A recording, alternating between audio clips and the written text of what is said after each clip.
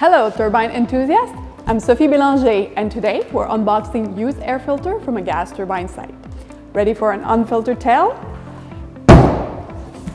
Let's see what's inside this box. A V-bank final filter with horizontal pleats and media packs more zigzag than my grandpa's forehead. But is this seasoned veteran still up for the task? In the GT world, filters face the elements heads-on, from hurricanes to heavy fog. This can take a toll on the media, especially if it's left soaking. Alright, let's put this old-timer to the test and see if it can still handle a downpour challenge.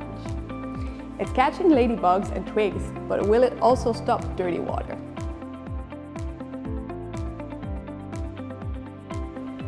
Oh, it seemed this filter could use a sturdy umbrella. Its pleat buckled under pressure from holding instead of draining water, and it let dirty water rush through. That's asking for trouble.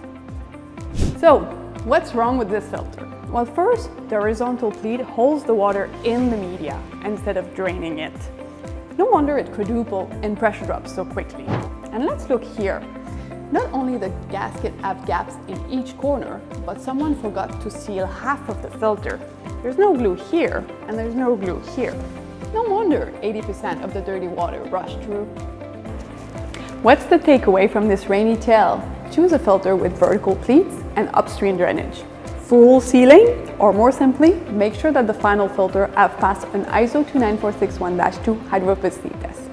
And remember, as we all crumble a little with age, it's wise to send your filter for an annual wellness check. Thanks for watching and stay tuned for more insight into turbine maintenance.